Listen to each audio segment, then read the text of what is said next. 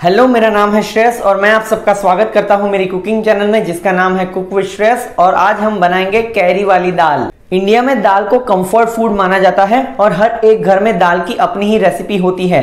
और वैसी ही एक दाल मैं लेके आया हूँ, जो है कैरी वाली दाल, जहाँ पे कैरी का मतलब होता है कच्चा आम। तो आज हम बनाएँगे कच्चे आम के फ्लेवर वाली खट्टी मीठी दाल, जिसका फ्लेवर बहुत ही यूनिक है। खाने में ये बहुत ही लजीज है और बनाना उतना ही आसान। तो चलिए बनाना स्टार्ट करते हैं कैरी वाली दाल। अगर आप मेरी चैनल पर नए हैं तो please subscribe the channel and hit the bell icon तो कैरी वाली दाल बनाने के लिए सबसे पहले हम लेंगे दाल। मैंने यहाँ पे ली है एक कप तूर दाल, जिसको मैंने 15 से 20 मिनट तक भिगो के रखा हुआ था।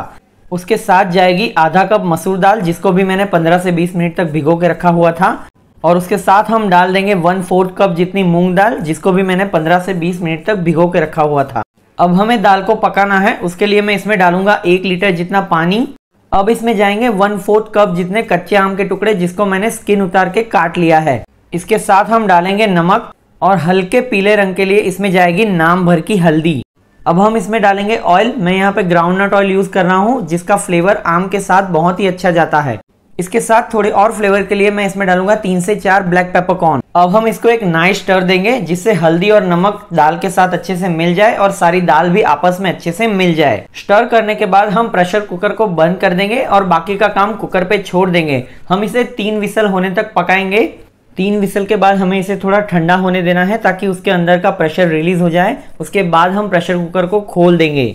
हमारी दाल अच्छे से पक चुकी है, इसमें आम का फ्लेवर भी अच्छे से आ चुका है और हल्दी की वजह से इसका रंग भी एकदम ब्राइट येलो है। अब हम विस्क की मदद से इसको अच्छे से हिलाएँगे, इससे सारी दाल एक रस हो जाएगी और एकदम स्मूथ भी हो जाएँगी। अगर आपको दाल चंकी चाहिए तो आप ये वाला स्टेप स्किप भी कर सकते हो। दाल अच्छे से स्मूथ हो चुकी है, इसको हम गैस से हटा देंगे और उसके तड़के की तैयारी करेंगे। तड़के के लिए मैं एक हैवी बॉटम पैन को ले लूँगा और उसमें मैं डालूँगा ग्राउंड नट ऑयल ऑयल के बाद हम इसमें डालेंगे आधा टेबलस्पून जितनी राई। राई को हमें अच्छे से स्प्लेटर होने देना है। उसके बाद हम इसमें डालेंगे आधा टेबलस्पून जितना जीरा। जैसे ही जीरा स्प्लेटर होता है, इसमें जाएँगे 10 से 12 कड़ी पत्ते। और साथ में जाएगी पिंच ऑफ़ हींग और साथ में एक स्पाइसी किक के लिए एक लाल मिर्च हम डालेंगे, जिसको मैं तोड़ के डालूँगा।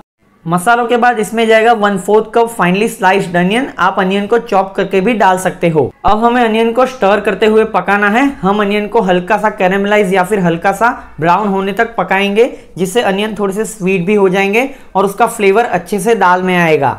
करीबन पाँच मिनट स्टर करने के बाद अनियन अच्छे से कैरेमलाइज हो गए हैं। अब हम इसमें डालेंगे दो से तीन finely chop green chillies chillies के साथ इसमें जाएँगे पाउडर मसाले। हम इसमें डालेंगे वन फोर्थ टी जितनी हल्दी पाउडर और उसके साथ जाएगा हाफ़ टी स्पून जितना धनिया पाउडर। अब हम इसे एक से दो मिनट तक सौते करेंगे ताकि चिलीज और पाउडर मसाले अच्छे से पक जाए। यहाँ पे इसका सौते होना बहुत ही ज़रूरी है, क्योंकि यहाँ पे ये कच्चे रह जाते हैं तो इसके बाद हम जो दाल डालेंगे, उसमें उसका कच्चा फ्लेवर आएगा जो बिल्कुल अच्छा नहीं लगता है। जैसे ही मसाले सौते हो जाएँगे, हम उसमें डालेंगे दाल जो हमने पहले से ही कच्चे आम के साथ बॉईल करके रखी हुई है। हम दाल को अच्छे से स्टर करेंगे ताकि सारे मसाले दाल के अंदर अच्छे से मिक्स हो जाए, जिससे मसालों का सारा फ्लेवर दाल में आ जाएगा। अब मैं यहाँ पे ऐड करूँगा एक कप जितना पानी आप दाल की कंसिस्टेंसी अपने हिसाब से रख सकते हो, क्योंकि मुझे दाल थोड़ी सी पतली चाहिए, मैं इसे चावल के साथ सर्व करूँगा तो मैं इसमें पानी ऐड कर रहा हूँ। पानी डालने के तुरंत बाद हम इसको फिर से एक बार स्टर करेंगे ताकि पानी और दाल अच्छे से मिल जाए, उसकी कंसिस्टेंसी एकदम सही हो जाए। और बाद में हम उसको कम से कम 8 से 10 मिनट तक कुक करेंगे ताकि सारे फ्लेवर्स आपस में मिक्स हो जाए, आपस में मिल जाए। इसके बाद हम उसमें डालेंगे वन फोर्थ कप जितना गुड़ आप पाउडर जगरी भी यूज़ कर सकते हो। गुड़ डालने के बाद हम उसको फिर से एक नाइस स्टर देंगे ताकि गुड़ अच्छे से अंदर पिघल जाए, अच्छे से मेल्ट हो जाए, उसके साथ अच्छे से मिल जाए। हमारी दाल का फ्लेवर एकदम खट्टा मीठा होगा, आम से उसकी खटास आएगी, गुड़ उसको मीठा बन देगा और हल्की सी स्पाइसीनेस के लिए हमने चिलीज भी डाली है। तो कुल मिला के हमारी एक खट्टी मीठी हल्की सी स्पाइसी दाल बनके रेडी होगी, जो बहुत ही अच्छी लगेगी। गुड़ अच्छे से मेल्ट हो चुका है। अब हम उसको सीज़न करेंगे। इसके लिए हम उसमें डालेंगे सॉल्ट सॉल्ट डालने के बाद हमें इसको फिर से हिलाना है, ताकि सॉल्ट इसके अंदर अच्छे से मिल जाए।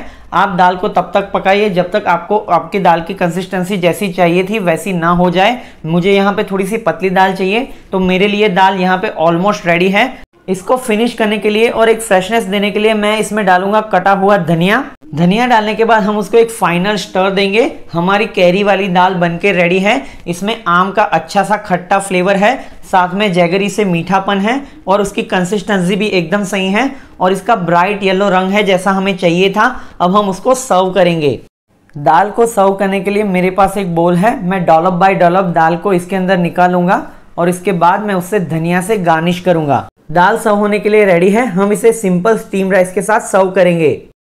आपको ये रेसिपी कैसी लगी है, आप नीचे कमेंट करके भी बता सकते हैं। अगर आपको ये वीडियो पसंद आई हो तो इसे लाइक कीजिए शेयर कीजिए और मेरी चैनल को सब्सक्राइब कीजिए। और ऐसी ही वीडियो के लिए बेल आइकन को दबाना ना भूले। तो मैं आपको मिलता हूँ अगले वीडियो में ऐसी ही एक आसान रेसिपी के साथ। तब तक कीप कुकिंग